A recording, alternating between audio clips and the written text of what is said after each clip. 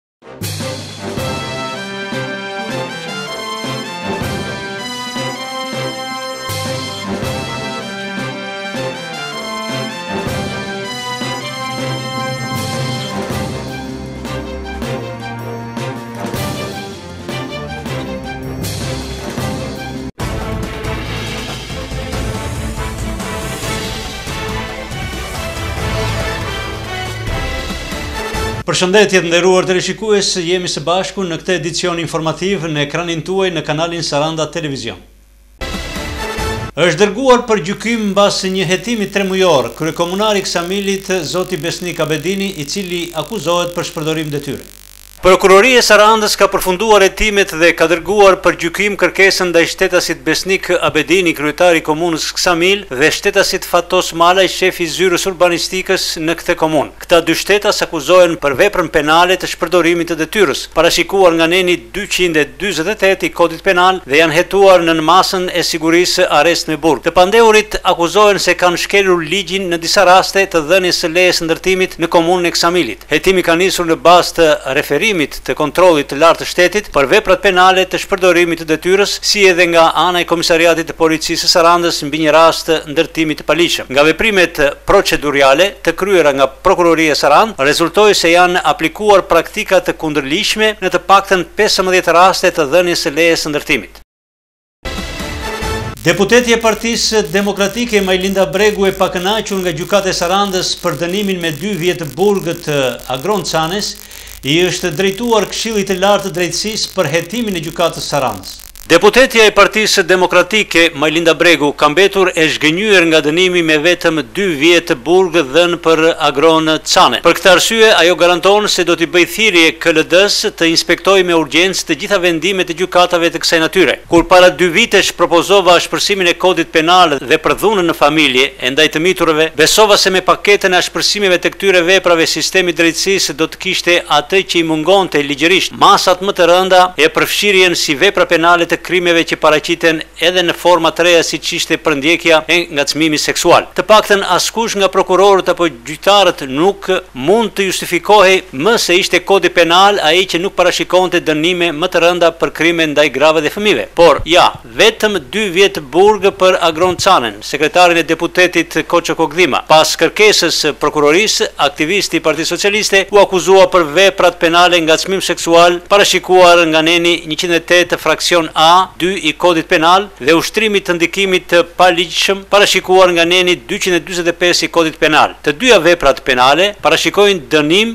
së bashku me minimum pesë vjet e maksimumin nëntë vjet heqje lirie. Por, ajo Gjykatë e Sarandës ka vendosur vetëm dy vjet burg. Po e përsëris kërkesën që i kam paraqitur Këshillit të Lartë të Drejtësisë në njëzet gusht. për të nisur me urgjencë inspektimin tematik mbi vendimet e gjykatave për rastet e dhunës me bazë gjinore e veprave penale kundër fëmijëve, siç ishte rasti i Agron Canës, që kërkonte seks me të mitur. Nesër po e rikujtoj përsëri KLD-në, dhe jo vetëm, e mbyll Breku shkrimin e saj në Facebook. Si rezultat i luftës kundër korrupsionit për periudhën njëmbëdhjetë mujore të vitit dy mijë e katërmbëdhjetë, sipas ministrit të Financave Shkëlqim Cani, të ardhurat shtesë në buxhet janë rritur në vleftën njëzet e nëntë pikë shtatë miliardë lekë më shumë se vitin e kaluar.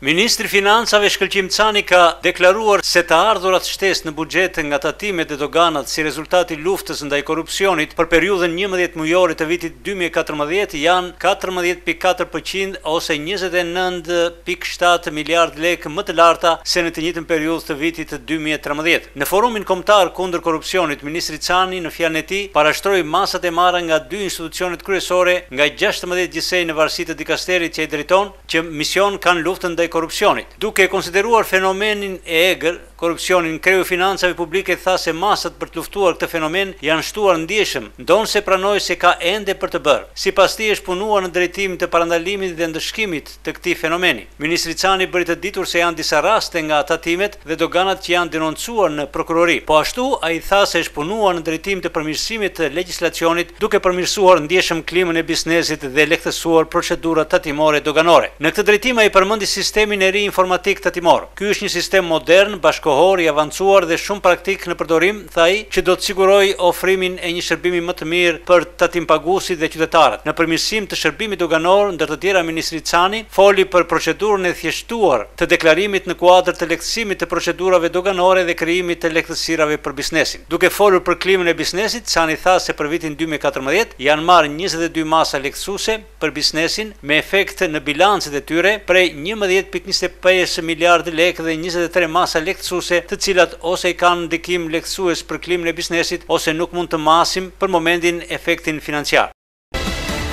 Kreu i Aluiznit, Artan Lame, shprehet se në vendin tonë numërohen rreth treqind mijë objekte informale.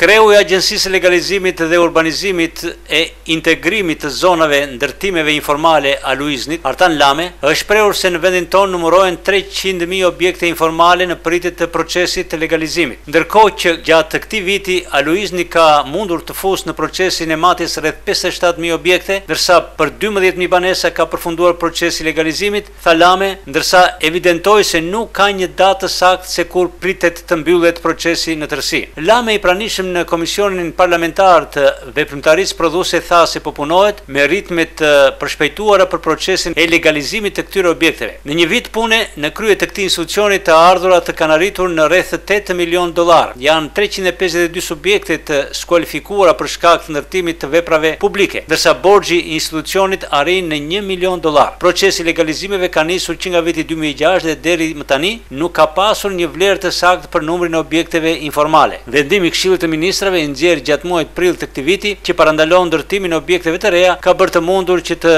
nxirret një vlerë e saktë. Ndërsa për sa i përket matjeve në terren, qeveria shqiptare gjatë këtyre viteve ka realizuar tre projekte të hartave digjitale për shkak të fluksit të lartë të ndërtimeve. Sipas Instatit, shkalla e punësimit gjatë tremujorit të tretë të këtij viti, krahasuar me të njëjtën periudhë në vitin e kaluar, është rritur me tre pikë shtatë pikë përqindje.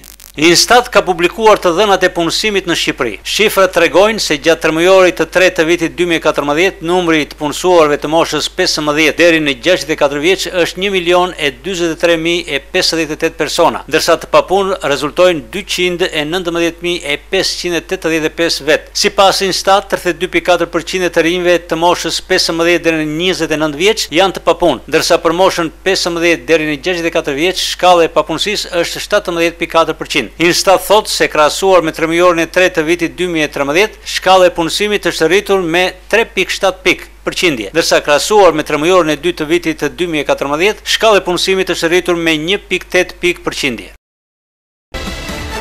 Sara është tepër e njohur për spektaklet e saj me pjesët e sipërme të trupit. Në videolajmin e sotëm do të ndiqni performancën e re të saj në prag të Krishtlindjes.